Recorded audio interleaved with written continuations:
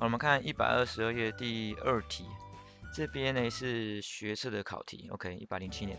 那题目是这样子，这是一个文字题哦，所以主要考文字描述部分。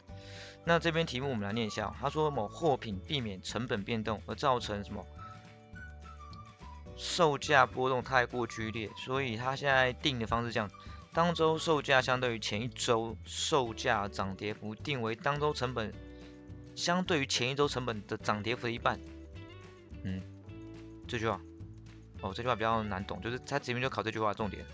那什么意思哦？还没有看懂的话，我们往下。哦他说，如果下表中哦，第二周的涨跌幅百分之百，那第二周售价涨五十趴，等于说成本涨百分之百的时候啊，卖价成本跟卖价不一样，售价是卖出去的，那成本是你进货的。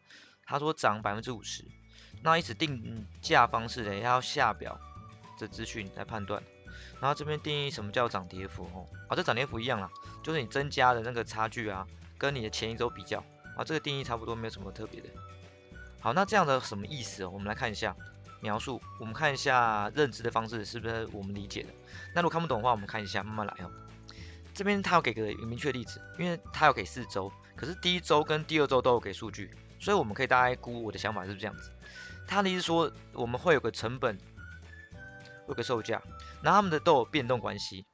那设定的变动是说嘞，成本的变动跟售价的那个变动涨跌幅是二比一的关系，一半。所以我们看有没有算对，我们来来，是不是我们想的意思？它现在嘞五十 percent 变成百分之百，是不是两倍？那我们以增加了比例啊，这边。五十到百分，呃，五十到一百，它增加的哦，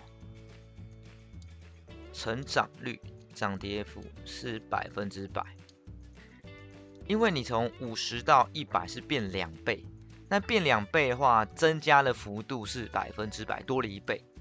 好，那照它的定义的话嘞，这边应该是多了百分之五十。那如果多百分之五十的话，你一百，那多应该多六十吧？所以你一百二加六十等于一百八，哎有哎，所以很明显，这我们认知的想法应该是一样，所以我们读题应该是没有问题，是不是？他的应该是这样想。那以此类推的话嘞，这题要比 S Y 的范围，其实这 S Y 可以算出来，不用范围了。那这样的话，我们可以不是可以往下？所以从一百到五十的话，你是不是少了多少？少了百分之五十哎，所以你的那个涨跌幅应该是减少五十趴。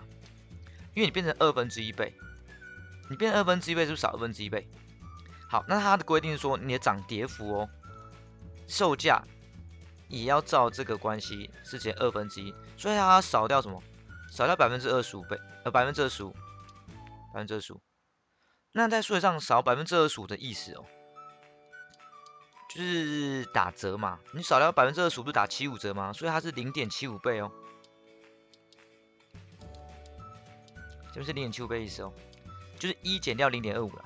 好，那如果这样的话，我是不是一百八乘上零点七五，是不是可以找出 x？所以我写旁边哦，一百八十乘上零点七五，零点七五是不是四分三？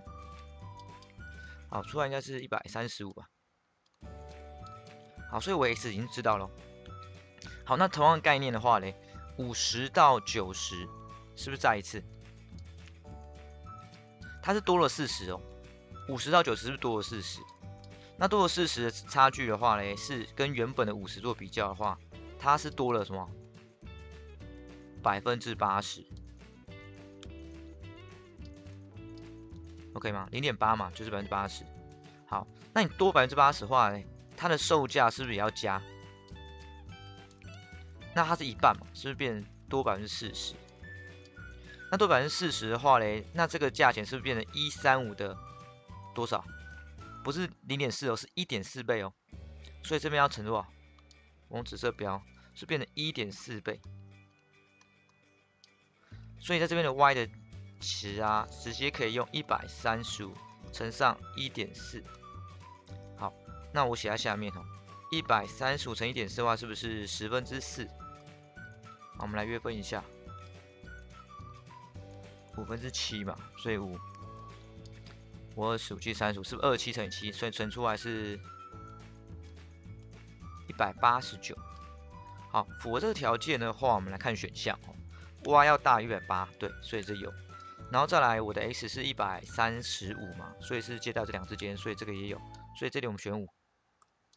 OK。